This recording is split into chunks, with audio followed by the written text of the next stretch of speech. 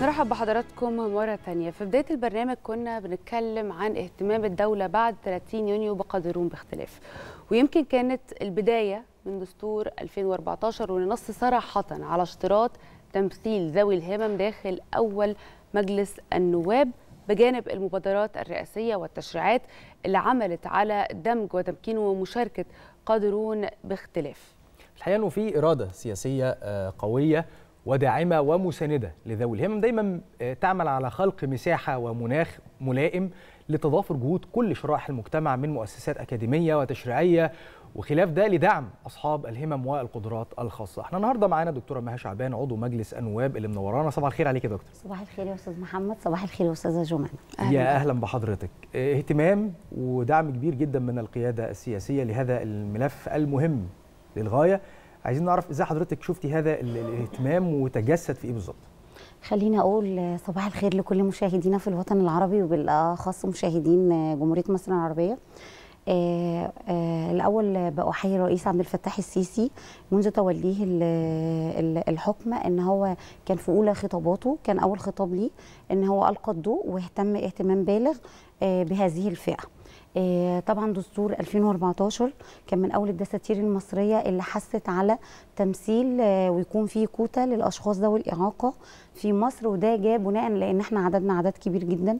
إحنا عددنا تقريبا من 12 ل 13 مليون في الدولة فلو كل فرد فينا عايش مع أسرة فإحنا أكيد بنمثل قطاع عريض جدا في الدولة المصرية. آه، ولينا مشاكل كتيرة ولينا قضايا كتيرة فبتهم كل آه، القيادة السياسية وكل ال- ال- الجهات المختصة بقضايا الإعاقة. آه، بعد الدستور 2014 في دستور 2019 آه، في مجلس النواب آه، برضو صممنا إن إحنا يكون لينا تمثيل مناسب في ال- الدورة ال- ال- ال- القادمة عشان نضمن إن إحنا نفضل موجودين ككوتا آه، في البرلمان ولينا صوت بيتكلم عن قضايا 12 أو 13 مليون معاق وده كان بيصب في كل لصالح ال- آه، كل مشاكل الإخوة ذوي الإعاقة في مصر وفعلا آه، كنت شرفت إن أنا كنت مقدمة مشروع آه، قانون 10 سنة 2018 في البرلمان السابق. كان القانون ده بي- بيحث على أكثر من أكثر من مادة 55 مادة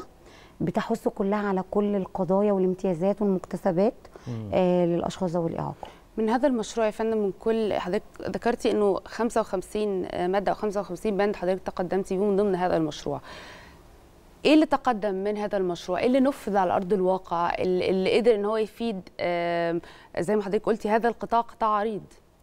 آه، كان من أول القوانين اللي الرئيس عبد الفتاح السيسي صدق عليها بعد مناقشة القانون وإقرار البرلمان ليه بعديه بشهر آه، صدرت اللائحة التنفيذية في 2019 لا القانون شمل عدة مزايا أهمها الجمع بين معاشين للشخص ال- المعاق آه، الإعفاء ال- الضريبي في الإعفاء الضريبي آه، الإعفاء الجمركي على المستلزمات موضوع الطبية. الجمع بين معاشين دي ميزة لذوي الهمم فقط. آه. معاش زوج يعني- مثلا وأب؟ لا يعني لو في أنا مثلا موظفة ووالدي توفى رحمة الله عليه ينفع إن أنا أو والدتي ينفع إن أنا آخد راتبي وإن أنا آخد والمعاش. معاش والدي أو والدتي. ودي حاجة خاصة بذوي الإعاقة بس.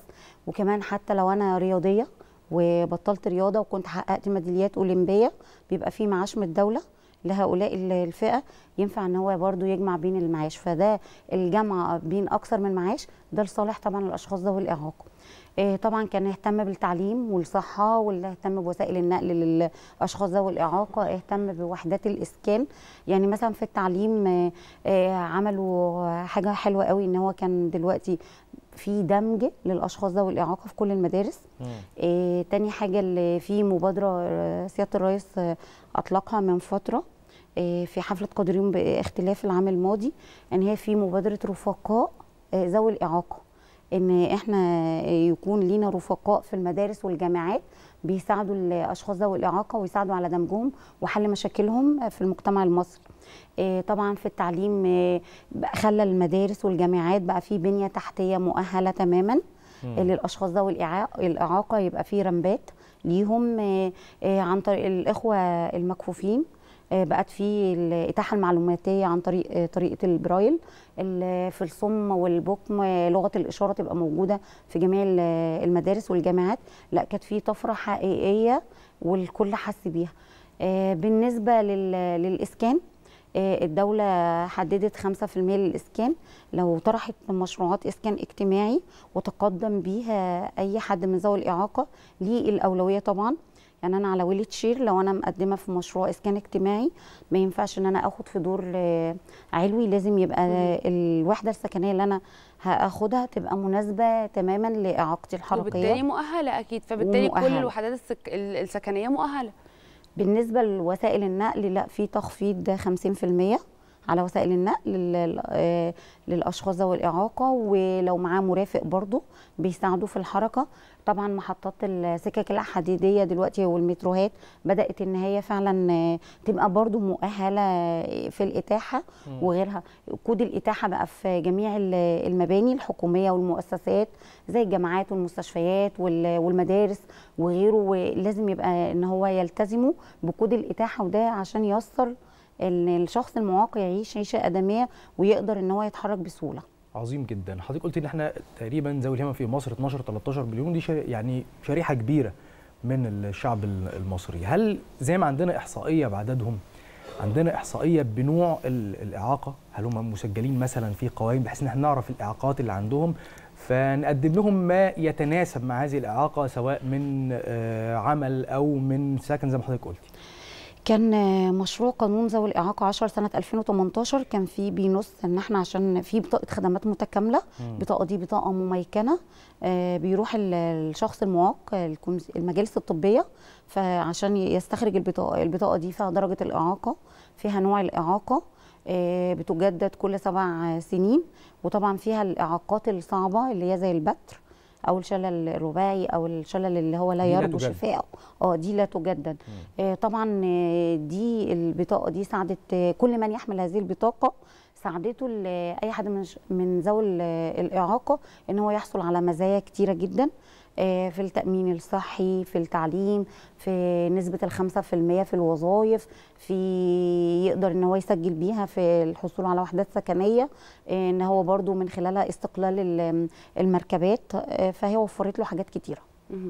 طيب كمان سيادة الرئيس عبد الفتاح السيسي آه، كان آه، مهتم جدا بفكرة تطبيق نظام الخمسة في المية في آه، المؤسسات والشركات في الوظائف إنه كل إن كانت شركات أو أو لازم يكون في خمسة في المية من ذوي الهمم.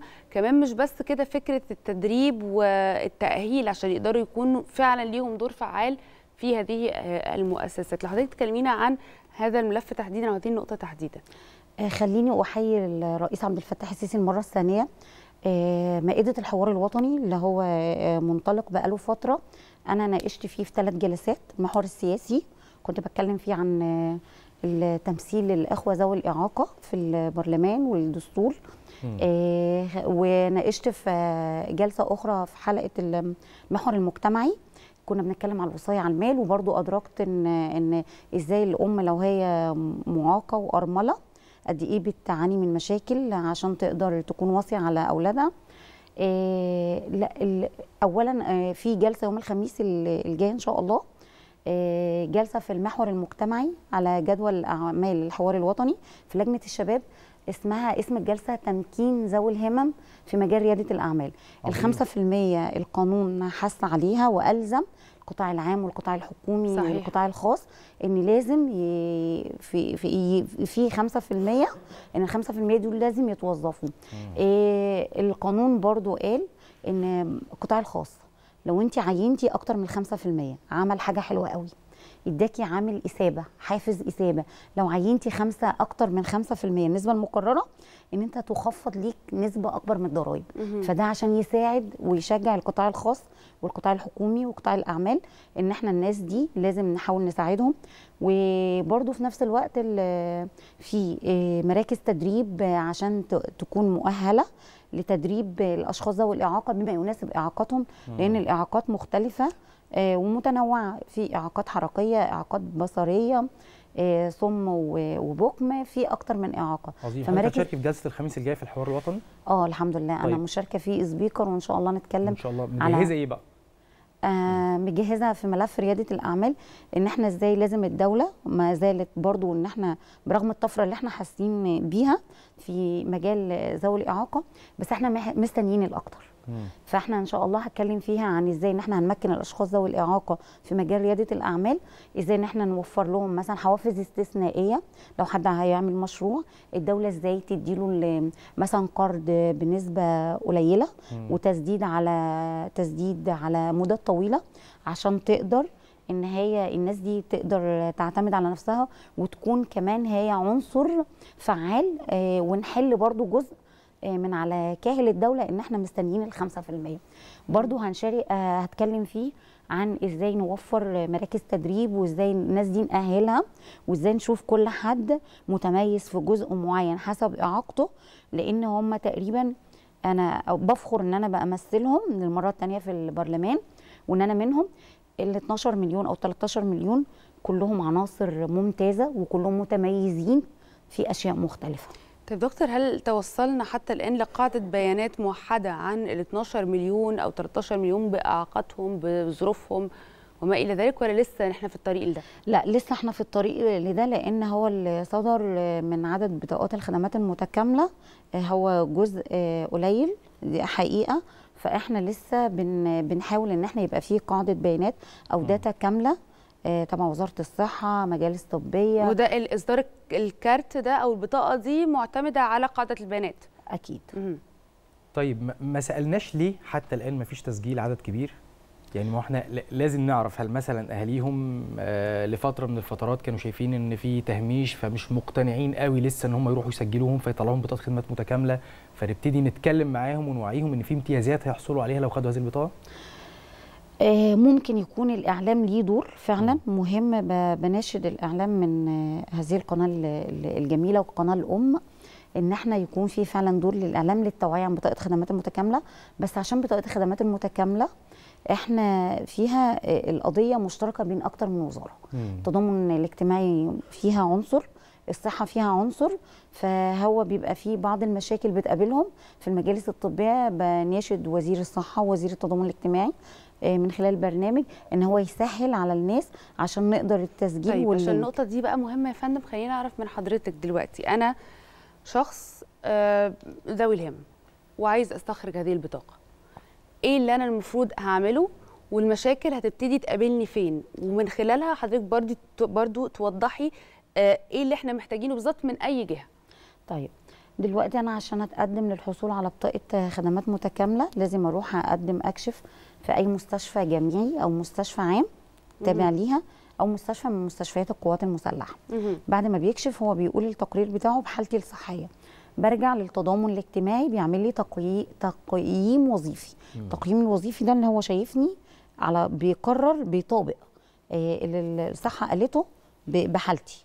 بعدين بنبعتها للتضامن الاجتماعي وبعدين بتحدد له جلسة في المجالس الطبية إن هو بيروح الجلسة دي بمجموعة من الأطباء بيحدد الشخص ده وبعدين بيتم استخراج البطاقة بعدها بمدة شهرين أو ثلاثة بس. إيه هي دي كل يعني فين المشاكل بقى؟ المشاكل أقول لحضرتك إن بيبقى فيه تقديم مثلا عشان تحجزي في المجالس الطبية على link خاص بوزارة الصحة أو المجالس الطبية ال link هو طول الوقت أو بيفتح في أوقات معينة مش بيبقى معلن عنها فمش كل الناس من ذوي الإعاقة مم. قاعدة على النت أو متابعة إزاي اللينك ده هيفتح إمتى والفترة من إمتى ما ده وطبعا المفروض عشان يكون متاح طول الوقت ده بقى المفروض. آه يبقى طبعاً. في من تبع المجالس الطبية وزارة الصحة إن إحنا يبقى في إعلانات إن إحنا هنفتح مثلا ال- بطاقة الخدمات المتكاملة ثلاث بطاقات إعاقة شديدة إعاقة متوسطة آه، أمراض مزمنة. في الإعلان كل مرحلة فيهم لاستخراج البطاقة ليها يعني هم شغالين في البطاقات ال- شديده الإعاقة وال- والإعاقات المتوسطة. باقي تقريبا الأمراض المزمنة. المفروض بقى لما هاجي أنا دلوقتي هقدم يبقى في إعلان قبلها لأ يا جماعة إحنا بدأنا أو هنفتح ال link عشان الناس تبتدي الناس تبتدي تسجل على link وزارة الصحة والمجالس الطبية.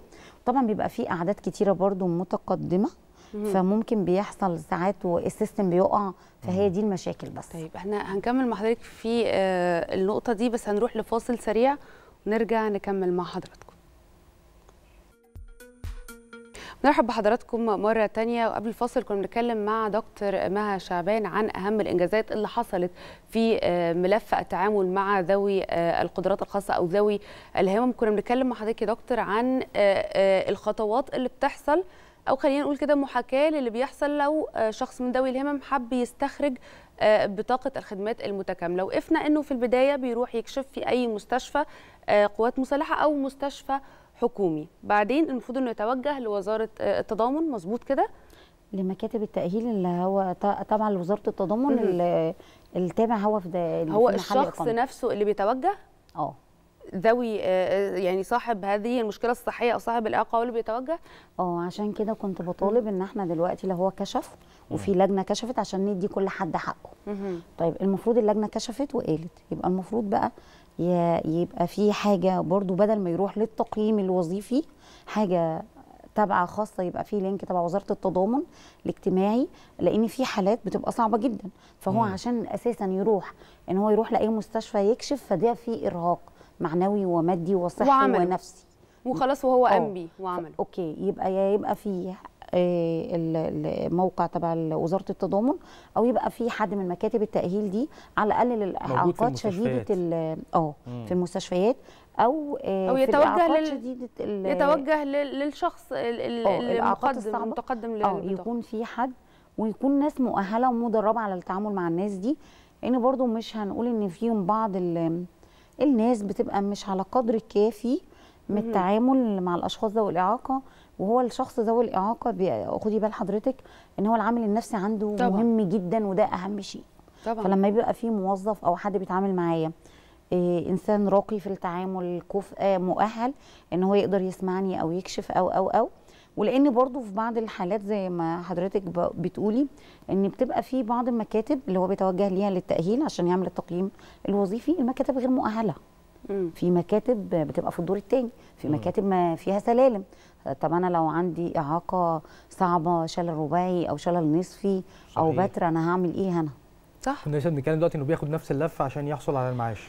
تاني آه عايزينه يبقى بكش... يبقى كشف واحد لأن ال- الشخص لما بيجي يحصل على معاش تكافل أو كرامة برضه لازم يروح يكشف ويسجل عشان يحصل على المعاش طب أوكي المفروض يبقى الشخص اللي هو حصل على بطاقة الخدمات المتكاملة هي فيها إعاقته ودرجة الإعاقة ونوعها وأنا أخدتها عشان أجيب سيارة مجهزة أو يبقى لي امتيازات أخرى يبقى أنا ليه أكشف تاني؟ يبقى هو. كشف واحد. إحنا خدنا خلاص الضوء الأخضر من سيادة الرئيس بعد كده لازم نتحرك بقى. يعني لازم نسهل تمام. الأمور شوية ولازم نحرك الدنيا. كده كده هيحصل على الدعم وهو بالفعل مستحق لهذا الدعم ايا كان نوع هذا الدعم.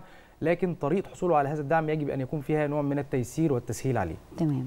طيب, طيب, إحنا عندنا عندنا كمان يا جمانة المنظومة الموحدة للأطراف الصناعية. عايز أعرف من حضرتك أهميتها يا دكتورة مها لا دي منظومة مهمة جدا جدا وده أفضل قرار سيادة الرئيس أخده إن هو هيبقى في مصنع كبير هنا لتصنيع الأجهزة التعويضية لأن هيبقى فيها مثلا عدد وحصر لذوي الإعاقة هتبقى فيها صناعة كل المستلزمات الطبية من كراسي متحركة سماعات طبية أطراف صناعية أطراف صناعية.